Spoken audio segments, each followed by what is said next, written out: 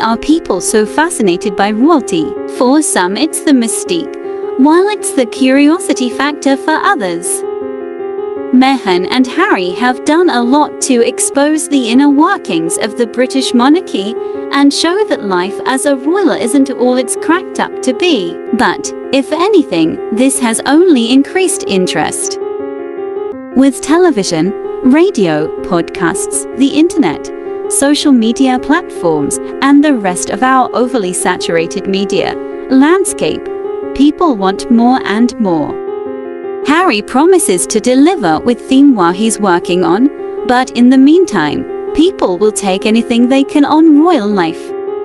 Meghan is marking her 40th birthday by launching a female mentorship initiative. She did so with a sleek, beautifully lit video, apparently filmed at the couple's Montecito mansion. The moment offered royal watchers a glimpse into her new home in California and the chance to spot Easter eggs like her star sign necklaces and other subtle nods in the background, which the press pounced upon. Meghan Markle gives rare glimpse inside her Montecito home and invitation to mentor for her 40th birthday. The UK's Daily Telegraph broke down the 12 hidden messages in the Sussex's It Eilish study. While British online newspaper The Independent highlighted Meghan's spacious desk, which included room for a quartz crystal, placed on one corner, a gold vase filled with white flowers, a decorative glass bottle, and two white and gold trays, while viewers also noticed that the desk held multiple framed photos of Meghan's family. In the corner closest to Meghan, the desk held a decorative tray bearing a plate of cookies and a teacup. The independent write-up added. These tidbits may seem trivial, but they are part of a strategy used by royals and celebrities if we're honest. To connect with their audience and find common ground. Do you share a home furnishing color palette with the Sussexes?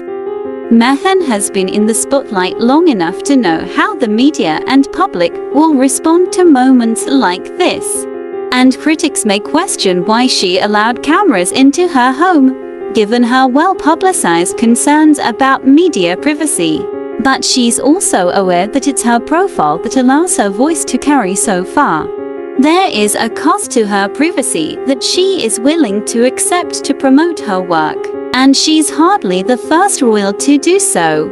One of the more recent examples was Princess Anne offering up a peek at her pretty normal-looking living room as she watched some rugby on TV, while news outlets routinely unpick the decor in the background of the Queen's annual Christmas message. In offering herself up in the short but sweet sketch on her milestone birthday, Meghan's got us talking about her underlying but vastly more important message supporting women in the post pandemic workforce, which is exactly what she would have hoped for now that she's in complete control of her publicity. We're getting a sense of where Meghan is drawing the line on how far she will let people in.